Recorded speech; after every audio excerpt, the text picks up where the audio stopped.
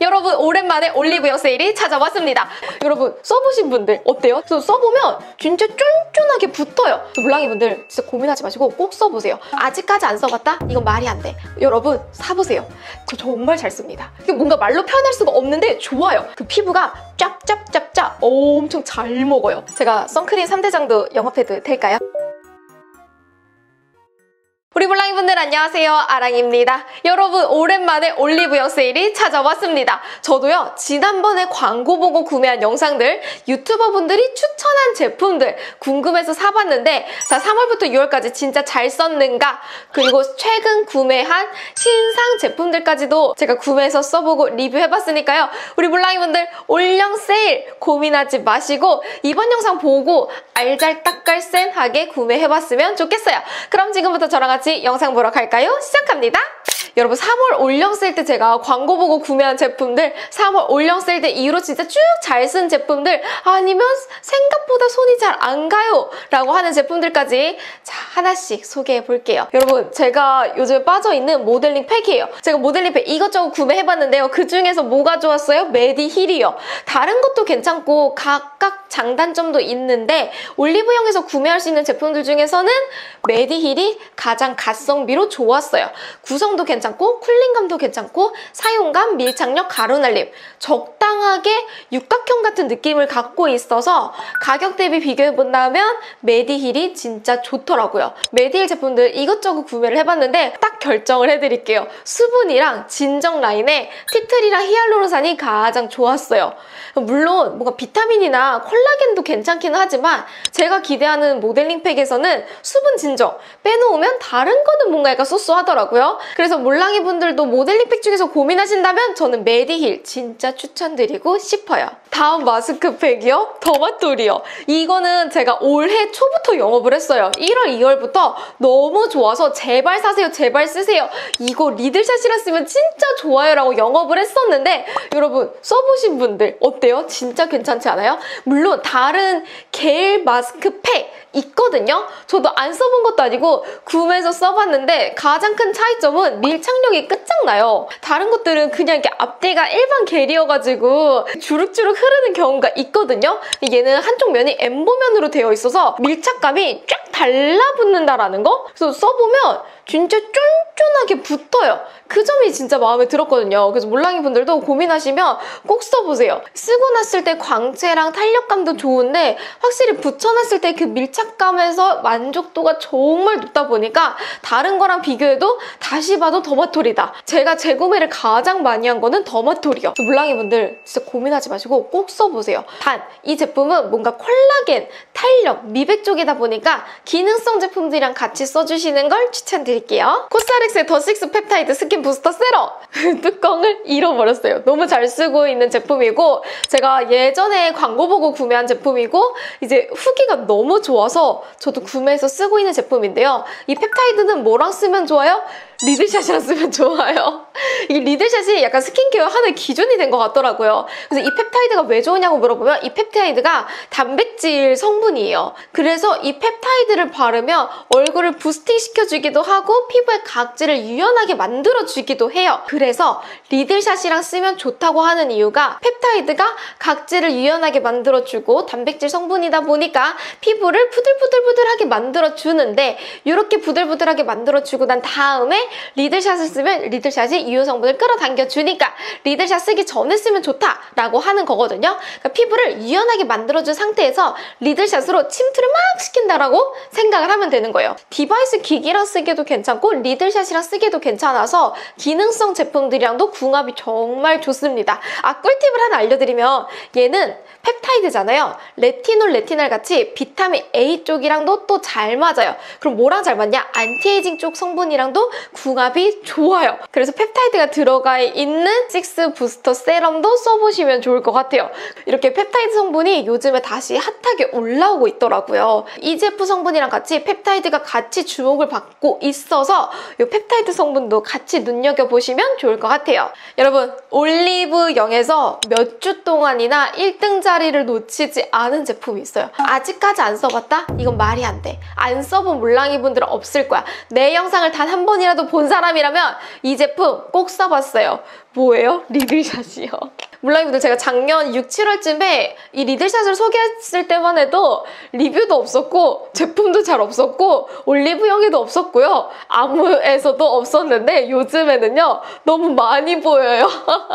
리들샷이 뭐 홈쇼핑에도 있고 요즘 뭐 뷰티컬리에도 들어가 있고 없는 플랫폼이 없던데요? 그 다 있던데요? 이 리들샷 왜 이렇게 유명해진 거야? 저를 만난 친구들이 야 네가 쏘아올린 공이다 네가 쏘아올린 농구공이다 이런 표현도 하는데 저도 이렇게까지나 리들샷이 핫해질 줄 모르고 하, 영업을 하긴 했습니다 물론 이 제품이 너무나도 좋아서 제가 영업을 할 때도 자신 있게 영업을 했는데 그만큼 효과도 확실하고 제품도 너무 좋아서 제가 영업을 막 하기 싫 다가도 아 너무 좋으니까 안 되겠다 싶어서 다시 영업했던 제품이었고 물론 이렇게 리드샷이 너무나 잘 될 줄 알았지만 너무 잘 돼서 아 배 아파! 하는 것도 좀 있어요. 그래서 여러분 리드샷 쓰면 뭐가 좋아요? 피부에 진짜 좋아요. 피부 각질층을 유연하게 만들어주고 피부 각질층을 일하게 만들어주다 보니까 뒤에 사용하는 유효 성분을 끌어당겨주고 흡수력을 도와주니까 그냥 화장품 발랐을 때보다 훨씬 더 시너지를 높게 만들 수가 있어요. 리들샷 50부터 1000까지 다양한데 저는 가장 잘 쓰는 거 50, 100, 300이요.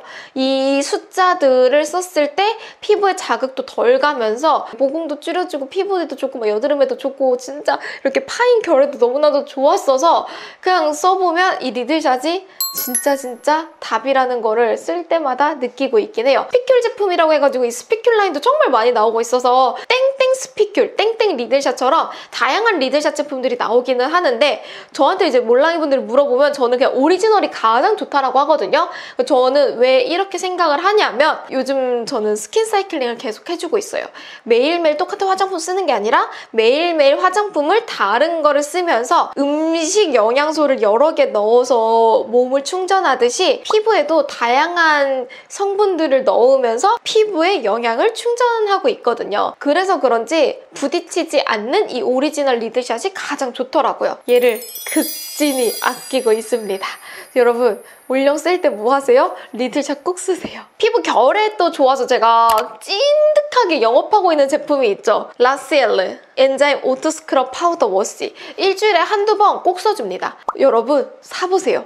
피부결이 뭔가 거칠거나 화장이 잘 안 먹거나 각질이 조금 쌓인 것 같은 느낌이 들 때요. enzyme powder wash 꼭 써보세요. 특히나 피부에 좁쌀 올라오고 피부에 이렇게 각질이 이렇게 두꺼워서 흰색으로 살짝 올라오시는 분들 있죠? 그런 분들일수록 꼭 쓰세요. 왜 쓰냐고 물어본다면 피부에 그렇게 좁쌀이 올라오고 각질이 올라온 거는요. 각질 turnover 주기를 잘 못 맞춰주는 것도 있고 각질이 너무 많이 쌓여가지고 탈락되지 못하는 것도 있거든요. 물리적으로 화학적으로 wash-off 필링이 필요한데 써봤던 제품들 중에서는요. 가장 순해요. 자극도 없고 모공이나 blackhead, whitehead 뽑아주기도 너무 좋아서 여러분 꼭 쓰세요. 저는 다른 제품 안 쓰고 얘만 진짜 진득하게 영업을 할 정도로 엄청 순하고 자극감도 없어서 일주일에 한두 번 놓치지 않고 쓰는 제품이요. 이 powder wash요. 그래서 여러분들도 꼭 한번 써봤으면 하는 마음에 영업합니다. 요즘에 또 잘 쓰는 제품 있죠. 제가 먼저 영업한 건 아니고 이제 유니든 씨께서 영업을 해가지고 제가 영업당한 제품인데 여러분 이거요. 비레디의 시카페인 라인. 저 정말 잘 씁니다. 유니든이랑 저랑 원하는 제형감, 제품이 비슷해요. 취향이 조금 비슷하더라고요. 산뜻한 거 좋아하고 수분감 좋아하고 찐득찐득거리고 무거운 거 싫어하고 이렇게 기름기 끼치는 거 별로 안 좋아하고 이런 취향이거든요. 이게 시카페인이라고 해가지고 수분에도 좋아, 진정에도 좋아, 그리고 뭐 이렇게 흔적에도 좋다. 라고 해가지고 아 수분 진정 흔적 오키 오키 하고서 써봤는데 너무 좋아요. 이게 뭔가 말로 표현할 수가 없는데 좋아요. 그래서 이게 뭐에 그렇게 효과가 있어요? 라고 한다면 진짜 그 세개다 약간 효과를 느껴볼 수 있는 그 느낌이에요. 은은하게 스며드는 맛집같이 대놓고 엄청 맛있는 메인 음식이 있는 건 아닌데 진짜 두루두루 다 잘하는 그런 맛집 같은 있죠. 백반 같은 느낌이야. 써보면 수분도 너무 잘 채워줘. 이거 썼을 때 진정도 잘 돼. 붉은기도 잘 잡아주는데 흉터같이 이렇게 약간 울긋불긋했던 애들까지도 약간 싹 사라지는 그 느낌? 저도 너무 잘 쓰고 있어가지고 제가 하나는 다 써서 진짜 완전 공병이거든요. 진짜 real 공병.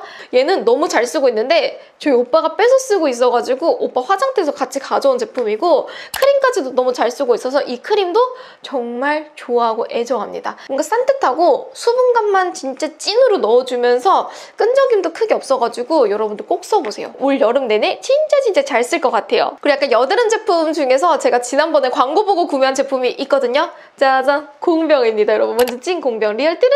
완전 탈탈 다 썼어요. 파티온의 노스카나인 트러블 세럼이거든요. 앞에 소개한 비레디랑 비슷한 느낌인데 비레디가 조금 더 점성이 느껴지는 느낌이거든요. 그래서 지금부터는 여러분 취향껏 선택해 주셔도 괜찮아요. 둘 다 제품력이 너무 좋아서 저는 둘 다 너무 만족하거든요. 올영 세일 때 저는 파티온 하나 더 구매할 예정이고 조금 더 light한 제형감이 좋다라고 한다면 파티온 선택해 주시고 점성이 쫀득쫀득한 게 좋아요 라고 하면 비레디 선택해 주셔도 괜찮아요.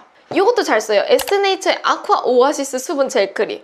제가 젤크림 이것저것 써봤거든요. 오전에, 아침에 화장할 때 쓰기 정말 좋은 젤크림이요. 에스네이처예요. 화장도 잘 먹고 수분감도 적당히 아니 너무 잘 느껴져 피부에 수분감이 잘 느껴지니까 화장도 너무 잘 먹어 젤크림이라고 하면 보통은 끈적이기 마련이잖아요 써봤던 애 중에서는 너무 만족스러워서 지금 제가 이렇게 진짜 이렇게 꾹꾹 눌러 쓰는 거 보이세요? 아침에 저 얘로 거의 이렇게 얹어가지고 흡수를 시켜주듯이 한 세네 번씩 layer를 해주거든요. 그 피부가 짭짭짭짭 엄청 잘 먹어요. 수부지, 지성, 끈적이는 거 나는 0.01%도 용납할 수가 없다. 내 인생의 끈적임과 답답한 무거움은 용납할 수 없다라고 하시는 분들은요. 에스네이처 꼭 써보세요. 너무 괜찮아요. 여름이라서 다시 꺼낸 제품은 넘버즈인의 글루타치온 C 흔적 앰플 물랑이 분들이 언니가 아직 써요 라고 하는 분들이 많은데요 네 저 아직 써요 아침에도 쓰고 저녁에도 쓰기도 하고 더마토리 쓰는 날 글루타치온 써주고서는 같이 써주면 시너지 완전 찰떡궁합이거든요 이렇게 같이 써줄 때도 있어서 아직까지도 넘버즈인 정말 잘 써주고 있습니다. 몰랑이 분들이 올영 제품 구매하기 전에 이 영상을 봤다면 이거 꼭 써보셨으면 좋겠어요. 안에 글루타치온뿐만 아니라 글루타치온, 비타민, 그리고 알파리포산 다양하게 들어가 있어서 항산화랑 미백에 도움을 주고 얘 진정되는 성분까지도 찐으로 많이 넣었거든요. 그래서 이거 쓰면 피부 흔적도 약간 옅어지고 피부도 같이 좋아질 수가 있거든요. 그래서 몰랑이 분들 중에서 미백이랑 흔적, 진정 이 세 개가 같이 고민인데 뭔가 앰플 딱 하나만 쓰고 싶어요 라고 한다면 글루타 글루타치온 이거 써보세요. 제가 선크림 3대장도 영업해도 될까요? 제가 작년에 진득하게 영업을 했었던 게 토코보예요. 토코보 네 맞아요. 제 전남친이 너무 좋아해가지고 전남친한테 영업당해서 제가 쓰기 시작한 게 토코보거든요. 자기는 끈적이는 거 너무 싫다고 선크림이 답답한 거 너무 싫다고 해가지고 제가 쥐어줬던 애들 중에서 저한테 너무 영업을 격하게 했었던 게 토코보. 토코보가 자기 너무 좋다 해가지고 이 토코보의 소프트 선스틱 답답하지도 않고 엄청 가볍고 그 느낌 자체가 안 들어서 제가 정말 좋아하고 애정해서 아직까지도 잘 써주고 있어요. 요번에 이 토코보에서 신제품이 나온 거예요. 쿨링 선스틱이라고 해가지고 약간 쿨링감이 느껴지는 제품이긴 하거든요. 써보면 딱 썼을 때 오! 시원하다! 라는 느낌을 받아요. 근데 단점은 바르고 난 다음에 만져보면 아, 나 지금 발랐네. 라는 느낌이 듭니다. 약간 그 유분감이 살짝 느껴지다 보니까 두 제품 중에서 딱 하나만 추천해요 라고 한다면 저는 이 파란색을 더 추천을 하고요. 이 파란색이랑 비슷한 느낌으로는 이거예요. 포어블러 업선 스틱. 저랑 닥터지랑 같이 개발을 한 포어블러 업선에서 sun stick을 출시를 했어요. 이 sun stick이 훨씬 가볍고 목에다가 바르기도 괜찮고 얼굴에다가 바르면 약간 그 피지 올라오는 걸 잡아주거든요. 물랑이 분들 중에서 어 나는 피지 올라오는 거 싫어하는데 선크림도 깔끔한 걸 좋아해 라고 하시는 분들은 지금 보여드리는 닥터지의 포어 블러 업선 이거 써보시면 괜찮을 것 같아요. 세 개 중에서 비교를 해보면 가장 light했던 거는 닥터지 뭔가 진짜 안 바른 듯한 느낌은 토코보의 파랑이. 약간 발랐는데 cooling감은 느껴지는 거는 이거 초록이 보라, 파랑, 초록으로 나눠서 소개해봅니다. 제가 요즘에 또 은은하게 쓰고 있는 거는 이거예요. 피카소의 121번 브러쉬거든요. 신상 제품이고 제가 이거를 두 개를 구매를 해가지고 하나 테스트를 해보고 얘를 좋아서 하나 더 구매를 했어요. 얘는 뭐냐면 스킨케어 바르는 브러쉬예요. 제가 이런 거를 은근히 원했거든요. 여러분 스킨케어 바르고 난 다음에 이제 선크림을 바르거나 아니면 메이크업 베이스를 바르거나 프라이머 바를 때 손으로 발랐을 때보다는 브러쉬로 바르는 게 결도 깔끔하게 정리해주고 손의 위생적인 면도 케어를 할 수 있으면서 열감이 직접적으로 얼굴에 닿지 않아서 훨씬 더 깔끔하게 메이크업 베이스 상태를 오래 유지시킬 수가 있거든요. 써봤는데 만족스럽고 두 개 다 구매했는데 저는 개인적으로 121번이 더 마음에 들었어요. 이거 사용한 흔적 보면 찌는 게 느껴지거든요. 지금 뭐 머리카락이 많이 묻어져 있는데 얘는 뭐냐면요. 뽕을 띄워주는 제품이에요. 머리를 살짝 내려주고 빗은 방향 살짝 반대쪽으로 올려주고 난 다음에 드라이 열을 쐬주고 나서 뒤로 쫙 빼주면 열이 엄청 잘 먹거든요? 심지어 볼륨감도 빵실빵실 살려주고 길이감도 길어서 모발에 닿고 얼굴에 닿았을 때 뜨거움도 많이 없어서 이게 훨씬 더 좋더라고요. 볼륨감 없거나 모발에 축축 처지시는 분들이라면 써보세요. 생각보다 지속력도 오래가고 볼륨감 살리기 엄청 쉬워서 뽕 중요하게 생각하시는 분들이라면 왕 추천드립니다. 라이브는 여기까지 진짜 알차게 제품들 선정해서 다시 한번 영업을 했는데요. 오늘 소개한 제품들은 너무 애정하게 진짜 내가 너무너무 좋아서 이건 진짜 꼭 써봤으면 좋겠어 라고 하는 제품들을 소개하기도 했었고 좀 장단점과 비교도 해봤으니까 여러분들이 올영 세일 때 이 영상 보시고 알차게 선택했으면 좋겠습니다. 그럼 여러분 오늘도 아랑한 하루 되시길 바라겠고요. 그럼 여러분 우리 지금 바로 올영으로 달려가세요. 그럼 모두들 안녕! 我。